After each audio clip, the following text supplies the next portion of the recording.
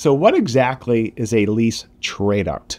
So, here at BAM Capital, we look at tradeouts on new leases and renewals.